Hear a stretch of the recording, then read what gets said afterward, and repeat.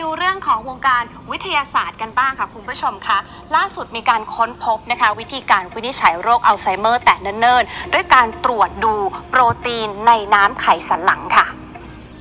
โรคอัลไซเมอร์เกิดขึ้นจากความผิดปกติของโปรตีนในสมองทำให้การทำงานของสมองนั้นเสื่อมสภาพ สิ่งที่ตามมาก็คือว่าผู้ป่วยบางรายเนี่ยจะมีภาวะความจำเสื่อม โดยการวินิจฉัยส่วนมากจะอาศัยอาการของผู้ป่วยเป็นหลักนะคะ หรือว่าอาจจะใช้เครื่องที่เรียกว่า PET scan เพื่อตรวจดูความผิดปกติในสมอง ซึ่งก็จะมีค่าใช้จ่ายที่สูงค่ะล่าสุดทีมนักวิจัยจากโรงเรียนแพทย์แห่งมหาวิทยาลัยวอชิงตันก็ได้ทำการทดลองวิธีใหม่ค่ะ ด้วยการตรวจจับโปรตีนในน้ำไข่สันหลัง ซึ่งโปรตีนชนิดนี้นะคะ ก็มีส่วนเกี่ยวข้องกับความผิดปกติของสมอง ดังนั้นหากผู้ป่วยมีปริมาณโปรตีนที่เรียกว่า MTBR สูงขึ้น ก็อาจจะพัฒนาเป็นโรคอัลไซเมอร์ได้ค่ะ ซึ่งผลการทดลองกับผู้ป่วยอัลไซเมอร์ นักวิจัยพบว่าน้ำไขสันหลังของผู้ป่วยที่มีโปรตีน MTBR ชนิด TAU 243 ที่มากกว่าคนปกติ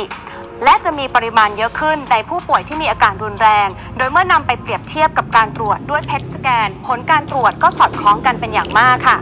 นอกจากนี้นักวิจัยยังเผยถึงสาเหตุในการเลือกวินิจฉัยโปรตีนชนิดนี้ เพราะว่าสามารถตรวจวัดได้ง่ายกว่า และที่สำคัญ สารชนิดนี้จะปะปนอยู่ในน้ำไขสันหลังของผู้ป่วยอยู่แล้ว ดังนั้นแพทย์สามารถเจาะตัวอย่างน้ำจากไขสันหลังของผู้ป่วยได้เลย ซึ่งงานวิจัยนี้ก็ถือว่าเป็นทางเลือกใหม่ที่ช่วยให้แพทย์วินิจฉัยโรคอัลไซเมอร์ได้แต่เนิ่นๆนะคะ เพราะว่าเป้าหมายหลักในการรักษาโรคนี้ ก็คือการชะลอความรุนแรงของโรค ยิ่งวินิจฉัยได้เร็วเท่าไหร่ ก็ยิ่งชะลอความรุนแรงของโรคได้มากขึ้นเท่านั้นค่ะคำถามจะชะลอยังไงล่ะอ่าจะชะลอจังไดล่ะทีเนี้ยตรงนี้แหละครับ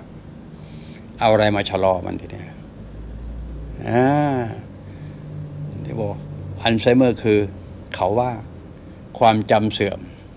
ลุงบอกว่ามันไม่ได้จำเรียกว่าลืมลืมนะเขาว่าลืมลืมๆนั่นนะลืม เมื่อกี้กินข้าวเสร็จ ยังบอกว่ายังไม่ได้กินเลย คนอยู่ใกล้เลยยุ่งนะแบบนี้คนอยู่ใกล้เลยยุ่งนะเนี่ยรูปสมองเห็นไหมล่ะ ห็นไหมนั่นคือสมองนั่นน่ะเห็นเห็นนั่นนะครับ มันจะหนีไปไหน พุ่งเข้าสู่หลุมดำเห็นได้ยังไงเออ สมองซ้ายขวาซ้ายขวาน่ะเรื่องระบบประสาทตรงนี้แหละครับเห็นไหมฮะแล้วแต่เขาจะว่ากันแหละครับ ก็คือไฟฟ้าสถิตนั่นเห็นไหมเห็นอย่างเห็นชัดอย่างทีเนี้ยเห็นไหมอยู่ตรงเนี้ยก็คือประสาท ระบบประสาทอยู่ในหัวสมองนั่นครับ เหมือนกับ short circuit ไอ้เจ้า short circuit เขาจะเรียกอะไรนั่นเลยนะ นิวรอนบวก นิวรอนลบก็มาจากนิวโรนั่นนิวโรซิสเต็มนะที่มีอะไรไปเรียกชื่อว่านิวรอน มันเป็นปมๆเนี่ยนะมันขาดวิ่นออกไปเห็นยังไงขวามือนะถ้าอยู่ในจอก็คือขวามือของผู้ดูใช่ไหมล่ะ หรือใครจะว่าไง ใช่นะไอ้เหลืองๆนั่นแหละครับ มันขาดขาดให้เห็นไหมนั่นน่ะมันไม่ต่อเชื่อมกัน ถ้าเป็นไฟฟ้าคือสายไฟฟ้ามันขาดเข้าใจอย่างนั่นน่ะนะ หรือลักษณะนึงบอกว่าช็อตเซอร์กิตเลยมันก็ว่าได้แต่นั้นแหละครับ ถามว่ามันไปต่อไงทีเดียวเอาอะไรไปต่อมันทีเดียวเอายาเคมีเหรอไม่มีทางครับ มันคนละศักยภาพ ลุงก็พูดกันจังนะนะฮะเรื่องอย่างเงี้ยก็ลุงก็บอกว่าอพลังงานบริสุทธิ์แล้วครับ ที่จะช่วยที่จะอะไรนะอะไรต่อมันได้กันแล้วกันอ้าวนี่องค์ความรู้ใหม่ในศตวรรษที่ยี่สิบเอ็ดนะครับ ลุงคนพบตัวนี้คือ ลุงออกพิโอนิจี้เนี่ยครับโอเคไหมครับ ถ้าสนใจใฝ่รู้นี่ลักษณะสมองตรงนี้เข้ามาเนี่ยตรงนี้นะสมองตัวนี้พอเวลาก็อ่านว่าอย่าอย่าเปลี่ยนไปเมื่อกี้เนี่ย ตัวเล็กเมื่อกี้เนี่ยเหลืองเหลืองแดงเออเอาไว้ไว้พี่อันนี้เนี่ยเอาไว้ก่อนเอาไว้ก่อนอย่าเพิ่งโอเคนะ ภาพนี้นะฮะบอกไปเลยว่า ลักษณะอย่างนี้สีสันอย่างนี้นะมันมาจากนู่นบิ๊กแบงเนี่ยให้รู้จัก เห็นหรือยังบิ๊กแบงในสมองเรานี่แหละครับให้รู้ไว้เขาถ่ายด้วยแสงอินฟรารงฟราเรดที่เขามีมาเนี่ยครับ นั่นคือสมองแหละครับ รูปอยู่ตรงนั้นเอง ก่อนเกิดเดี๋ยวเกิดหลังเกิดบิ๊กแบงมาโอ้โหเป็นเป็นกี่ปีวะเนี่ย เป็นแสนแสนปีนะนะเป็นล้านปีอะไร เห็นภาพนี้ขึ้นมา ที่เขาถ่ายทำมาเขาทำอะไรต่างๆนามามนั้นสมองเราเนี่ย มันเป็นศูนย์รวมของทุกสรรพสิ่งในโลก ในจักรวาล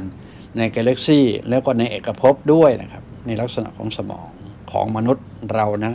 ก็แกงไม่ใช่ว่าเขาไม่เก่ง แต่เมื่อเวลามันเป็นเรื่องของสมองจะไปรักษาสมองได้ไงทีเด็ดครับลุงก็บอกว่าพลังงานบริสุทธิ์นะหรือว่าไฟฟ้าสถิตเท่านั้นนะครับ ที่จะช่วยได้นะครับ อย่างอื่นก็คงจะไม่ไหวแล้วครับ เพราะฉะนั้นก็ต้องมารู้กันละไฟฟ้าสถิตคือไฟฟ้าธรรมชาตินะครับ มันมาจากพลังงานบริสุทธิ์นะครับ ในการที่จะให้เกิดไฟฟ้าสถิตตรงนี้ขึ้นมาได้นะฮะเขารู้แต่เขาทำให้หายไม่ได้นั่นเอง มันมีประโยชน์ไหมทีเนี้ยก็รู้แค่รู้ไง ก็ไม่ว่าอะไรก็รู้ก็รู้ไปเถอะครับ ไม่เห็นเสียหาย แต่ในการเยียวยารักษาจริงๆนะถามว่าหน้าวันนี้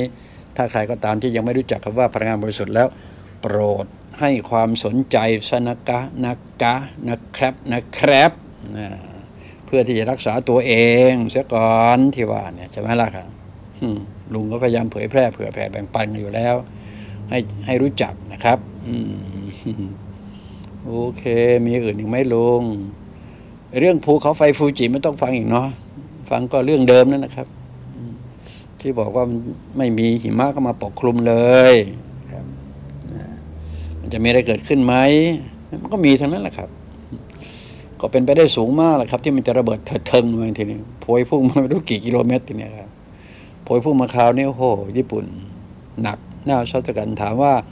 จากกระทบกระเทือนถึงประเทศไทยไหม มันเป็นชั้นบรรยากาศของโลกใช่ไหมครับ โลกใบนี้มันจำเป็นมากต้องรักษาความสมดุลเหมือนกันโอเคไหมครับ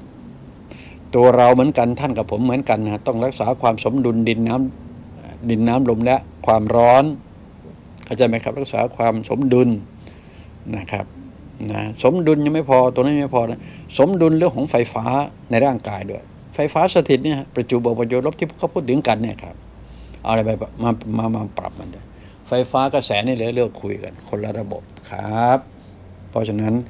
อะไรไม่ดีเกินไปกว่าการรู้จักตัวเราเองนะนะวันนี้นะครับ การงานประกาศนี่เป็นตัวเริ่มต้นที่จะรู้จักสิ่งเหล่านี้ที่บอกว่าอะไรแต่แต่แมนเขาพูดเสมอบอกว่า ตุบตับย่อขยายและบันและละลายบันทึก บันทึกกับสมองนั่นแหละครับ งับเอา หัวมันจะโล่งพี่ โอ้คนไหนก็ตามที่หัวโล่งปลอดโปร่งโล่งเบาสบาย ให้อย่าไปถามหามันเรื่องของอัลไซเมอร์ไม่มีหรอกนะพาร์กินสันก็ไม่มีหรอก เอาเปล่าถ้าใครทำเนี่ยเช่นลุงนี่ไม่มีทางที่มันจะเกิดพาร์กินสันหรือจะเป็นอัลไซเมอร์ไม่มีทางหรอกใครก็ได้ลุงรู้ตัวเองถึงขนาดนั้น เพราะฉะนั้นการรักษาตัวเองนั้น มีความแม่นยำแล้วก็มีความเป็นร้อยเปอร์เซ็นต์ ได้อย่างสง่างามเลยเลยแม้แต่ไอ้ที่เขาอาจเป็นมะเร็งมะเสงไม่มีแม้ว่าราการจอกนโหอันนี้คือเฮิร์บหรือเปล่าเห็นหรือยังใช้เฮิร์บเฮิร์บเฮิร์บเพราะฉะนั้นเวลาผมสูบที่เขาเรียกว่าซิกเรตซิกเรตเนี่ยภาษาเขาซิกเรตซิกเรตบุรีบุรีภาษาเขา ภาษาเราคือยายาเส้นรู้จักยายาคือพืชใช่ไหมพืชและผลไม้เป็นยารักษาตัวเรา คิดกลับกันนะครับ เออ ไปตามเขาไปตามแมวทำไมล่ะโอ้เพราะตามเขามันถึงบ้านเมืองนึงไปต่อไม่ได้เข้าใจยังพอเวลาจะคิดใหม่ทำใหม่ ไม่กล้าไม่ไม่เห็นต้องมีอะไรเลยนะครับ ของใหม่ไม่ยอมรับโอ้ยซอยไปไหนแล้ว พอยังไงเอ้ยนะครับ ใช่ป่ะ